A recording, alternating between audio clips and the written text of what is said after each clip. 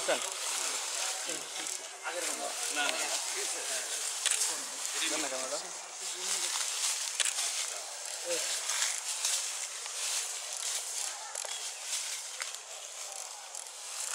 Lock kau ini tadi. Nah, unlock, unlock.